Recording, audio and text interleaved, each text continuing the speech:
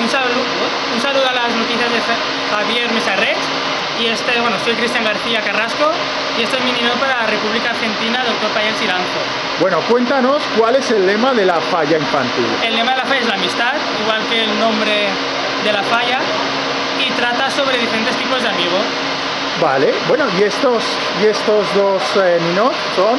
Pues representa la, que no hay que esconder el amor con amistad, que dos niños no tienen que por qué ocultar que son novios como que son amigos.